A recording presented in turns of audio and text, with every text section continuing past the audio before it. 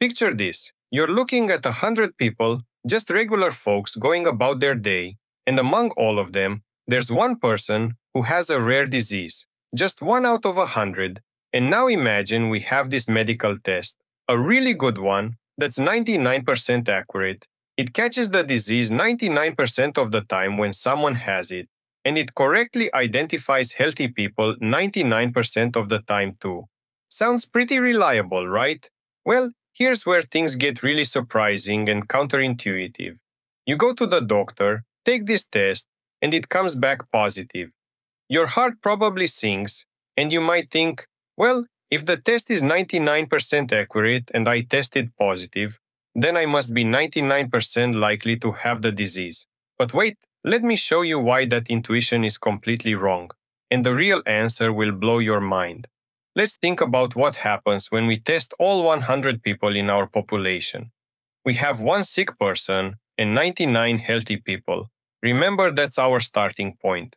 When we test the one sick person, there's a 99% chance they'll test positive, so they almost certainly will.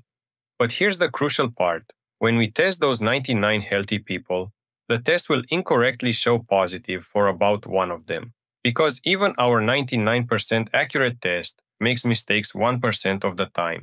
So now we have two people with positive test results, one who's actually sick, our true positive, and one who's healthy but got a false positive. That means we have two positive tests total, one true positive and one false positive. And this is the key insight coming up. Thus, if you're one of those two people who tested positive, you have exactly a 50% chance of being the actually sick one. Yes, 50%, not 99% like our intuition suggested. And this happens because we didn't properly account for how rare the disease is in the first place. This counterintuitive result is exactly why we need Bayes' theorem.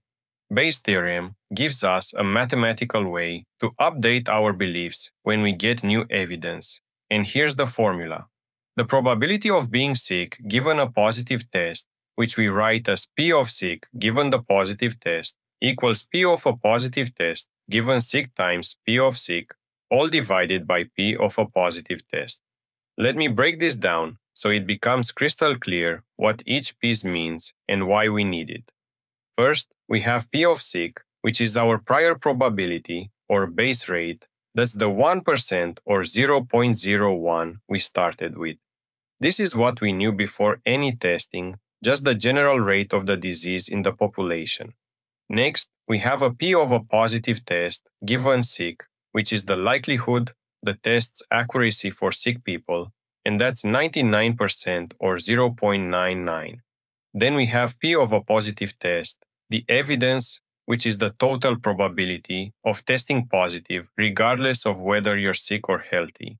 To find the probability of a positive test, we need to consider both ways someone can test positive. You could be sick and test positive, which happens with probability 0.01 times 0.99, giving us 0.0099. Or you could be healthy and test positive, which happens with probability 0.99 times 0.01, also giving us 0.0099. Adding these together, we get 0.0198 as our total probability of testing positive. Now we can put it all together. P of sick given plus equals 0.99 times 0.01 divided by 0.0198. That's 0.0099 divided by 0.0198, which equals exactly 0.5 or 50%. The calculation confirms what we discovered by counting. You have a 50-50 chance of actually being sick if you test positive. Now here's what really drives home the importance of base rates. Imagine the same 99% accurate test, but for a disease that affects 30% of people instead of 1%. With this more common disease, if you test positive, you'd be about 97% likely to actually have it, much higher compared to the 50% you get when you test positive for a rare disease. Same test, same accuracy for testing, but completely different meaning because the base rate changed everything. And that basically wraps up this video. Thanks so much for watching. If you found this explanation helpful, give it a thumbs up, share your thoughts in the comments, and subscribe to stay up to date with everything I post here. Also, if you'd like to support what I do, consider becoming a member either here or on Patreon. Your support really goes a long way and helps me keep creating content like this. See you in the next one. Bye bye.